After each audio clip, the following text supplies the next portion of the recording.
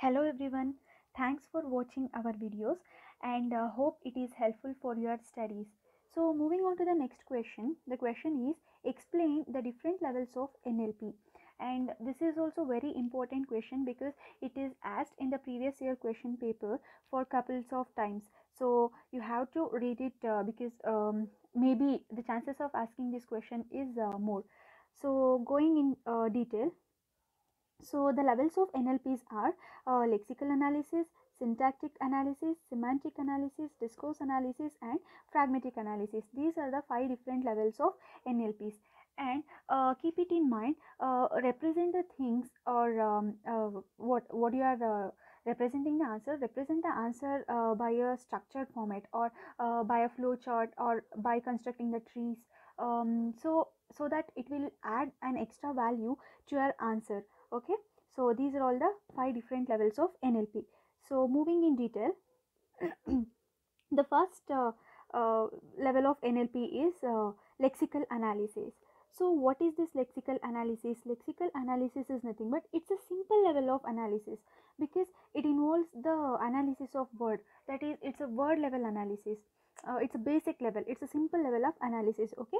Uh, and what are these words? Words are nothing but it's a fundamental unit of natural language processing okay? Words are nothing but they are the fundamental unit of the natural language processing. The word level processing require morphological knowledge okay? To process this word level uh, uh, what's that um, to process these words or word level processing it is going to require the morphological knowledge. What is this uh, morphological knowledge means? Uh, it is nothing but it's a knowledge about structure and uh, formation of the uh, words from the basic units uh, that is uh, morphemes okay? The morphological knowledge means it's a knowledge about the structure and the words. So what exactly this morphemes means?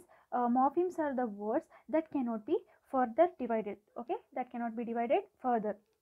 So Uh, let's uh, look into the example so that uh, you will be uh, easily understood understood what is the what exactly the morphemes means okay?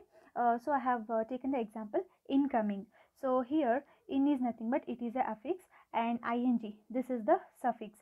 And uh, come this is the root word okay so come this is the root word which cannot be further divided. So removing this affix and suffix uh, take the root word. So that is come. Uh, it cannot be divided further. That is nothing but morphemes okay? So um, just uh, i'll i would like to brief it out uh, the thing what i have discussed in the lexical analysis. So lexical analysis first point is it is nothing but it's a simple representation and also it involves the word level uh, processing or word level analysis because it's a simple representation right? And also uh, the word level processing require the morphological knowledge. What is what exactly this morphological knowledge means? It's a knowledge about the structure and the words okay? Uh, words means it's a basic unit right? Uh, basic unit right? Uh, it is nothing but uh, it's a morphemes uh, what what exactly this morphemes? Morphemes are nothing but they are the words which cannot be further divided. So uh, take an example that is incoming. Or you can take any other examples like speaking. So ing is the prefix uh, it is not mandatory that you you must have affix and prefix. Both are both should be included. Uh, this is not mandatory. So uh, just take an example speaking. So you will be having ing. Speak plus ing. So speak is the root word. Remove the ing word. That is the uh, which is that uh, suffix. You remove that ing. So here now the speak is the root word. Uh, so speak is nothing but morpheme which cannot be which cannot be further divided. So you can take uh, many example.